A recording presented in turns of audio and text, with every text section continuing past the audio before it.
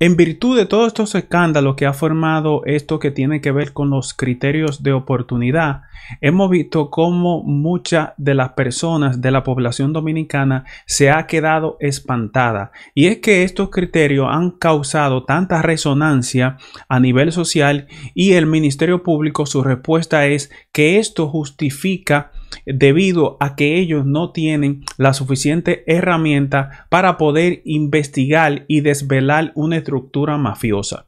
Lo que entra en contradicción con el lenguaje de este Ministerio Público que dice que estaban blindados llevando cientos de cajas amarillas llenas de documentos hasta el punto de decir que estaban bien robustecidas. Nosotros hemos visto cómo los expedientes que tienen que ver con Medusa es un expediente de 12.000 páginas, se habla de casi un millón de pruebas, asimismo tiene que ver el caso Antipulpo, el Coral y ahora que tiene que ver con el caso Calamar.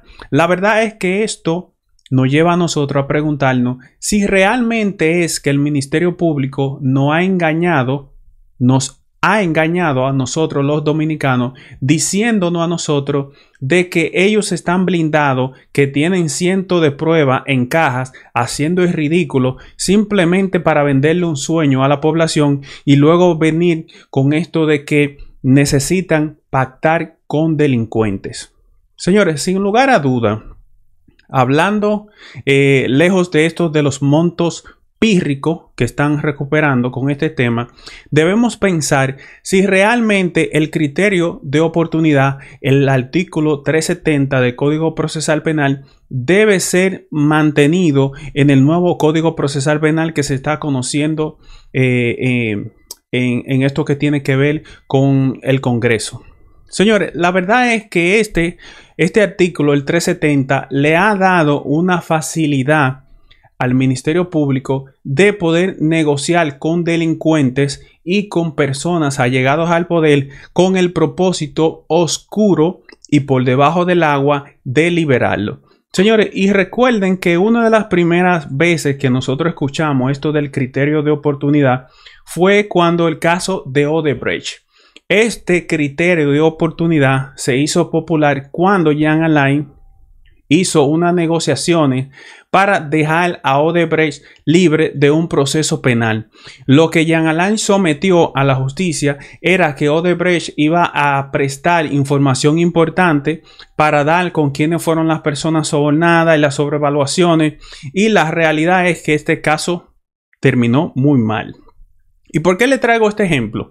Vemos que esta gestión del Ministerio Público ha heredado el vicio del criterio de oportunidad como herramienta de negociar con delincuentes. Y no solamente eso, que ya el caso de Brecht dejó una sensación negativa de que estos casos se cayeron.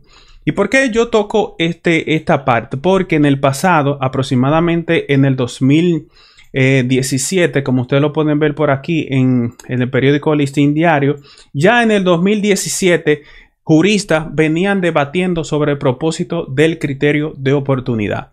Vemos como muchas personas que son ex comunistas dicen que en Estados Unidos se utilizan esto de las negociaciones a través del criterio de oportunidad eh, porque esto ayuda a agilizar los casos. Señores, pero ustedes están comparando Estados Unidos que tiene la mayor población que tiene que ver con América, lo van a comparar con República Dominicana, con una sociedad que tiene aproximadamente 10 millones de personas. Entonces, eh, ustedes quieren decir que República Dominicana estaba rotada de casos de corrupción y que esto les impide al Ministerio Público hacer una investigación objetiva. Yo creo que no. Honestamente, yo creo que esto le ha venido a dar un poder a fiscales para que negocien con delincuentes, con empresarios, con políticos y con personas de poder. Honestamente vivimos en una isla tan pequeña que me parece que ese artículo 360 es el artículo que más garantiza impunidad. Y yo creo que ese artículo debiera ser retirado. ¿Por qué? Porque esto le da la facilidad a lo que tiene que ver con estas personas eh, con esto del Ministerio Público para negociar como si fuesen una mafia. Señores, y es que cuando nosotros vemos cuál es el propósito de la justicia, cuando usted pone, se pone a ver en principio, la sociedad, cuando previó todos estos casos de delincuencia, de corrupción, de criminales, eh, decidió formar eh, una especie de ritual judicial donde formaban parte lo que tiene que ver con un juez, un acusado, ministerio público y abogado. En este ritual se mantenía la presunción de inocencia hasta el final de la persona que era imputada, pero sobre todo en este ritual que nosotros como sociedad invertimos dinero en un ministerio público, en la justicia, en formación de que tienen que ver con profesionales eh, del derecho. Y la verdad es que vemos que estos criterios de oportunidad son una negación de justicia. ¿Y por qué es una negación de justicia, señores? Porque eh, que una persona no vaya a juicio y no pueda demostrar si es culpable o inocente, aunque la inocencia se, se presume todo el tiempo, yo creo que esto viola eh, en cierta manera este, eh, este proceso o este ritual que tiene que ver con la justicia. En el fondo siempre se ha hablado que una persona no está obligado a testificar en su contra. Y yo creo que esto se está utilizando como coacción y como herramienta de extorsión y muchas veces de hacer negocio. Yo siempre me he preguntado ¿Por qué el Ministerio Público de República Dominicana tiene tanto poder que incluso Estados Unidos no lo tiene? ¿Por qué digo esto? Porque en Estados Unidos eh, lo que tiene que ver con asuntos forenses no está bajo el dominio del Ministerio Público. En República Dominicana, el Ministerio Público tiene control de el INASIF, que son los que se encarga de los asuntos forenses. O sea, el Ministerio Público tiene la oportunidad de fabricar pruebas falsas. Y es por eso que hemos visto cómo han salido redes de mafiosos que se confabulan con el Ministerio Público para robarle a extranjeros y a dominicanos que viven fuera del país, quitándole sus propiedades, muchas veces haciéndole tumbes. Y no solamente eso, que vemos también que el Ministerio Público tiene el control de las cárceles, que le da otra posibilidad a los fiscales mafiosos de poder extorsionar lo que tiene que ver con los imputados que caigan presos en, en estas cárceles.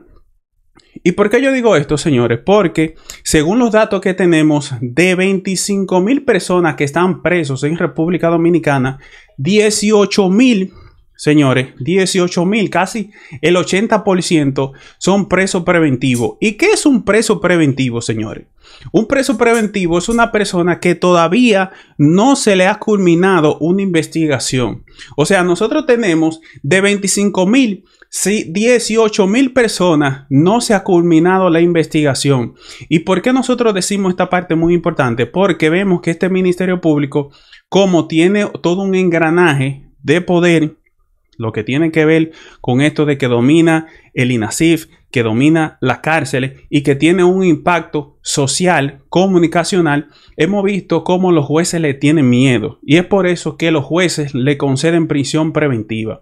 Y es por eso que nosotros hemos visto que a muchas personas, como en el caso de Antonio Carbone, se le mantuvo preso aproximadamente 10 años por supuestamente mandar a una persona a incendiar un auto.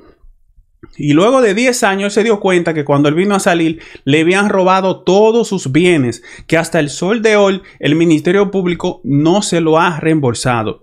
¿Y cuál es la pregunta final que tiene que ver con todo esto que yo evalúo de todo lo que ha pasado en República Dominicana?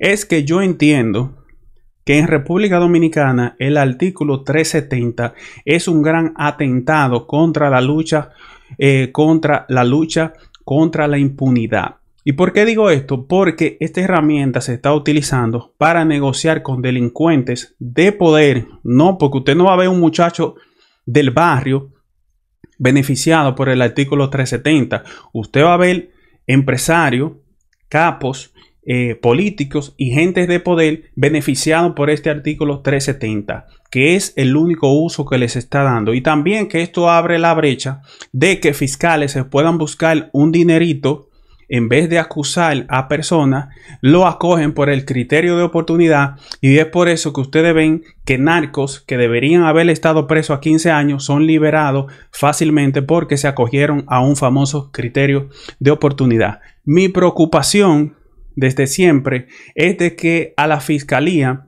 se hagan concursos, que lleguen gente preparado, que ya se detenga esta mafia de personas que se han perpetuado en el Ministerio Público y no dejan que profesionales, que fiscales preparados, que pueden dar lo mejor, lleguen a posiciones importantes. Por eso nosotros siempre hemos saludado que fiscales nuevos lleguen para nosotros ver qué de verdad le tienen para ofrecerle a nuestro dominicano. Y a mí lo que me preocupa realmente como hemos visto que lo ha dicho incluso eh, Carlos Rubio, también lo dijo Tomás Castro y muchísimas personas, que la capacidad del ministerio fabricar expediente falso es tan poderosa que incluso los políticos le tienen miedo. ¿Y por qué digo esto, señores? Porque no es posible que un ministerio público esté manejando el INASIF, señores, que es un laboratorio forense. Puede ser que cuando el Ministerio Público, una persona que tenga mucha influencia a lo interno del, Ministerio Público, coaccione a el director del INACI para que le corrobore algún tipo de información. Y es por eso que yo entiendo que este Ministerio Público y estas reformas que se están haciendo en República Dominicana debieran prestarle un poco más atención a las mafias que se están formando en torno al Ministerio Público.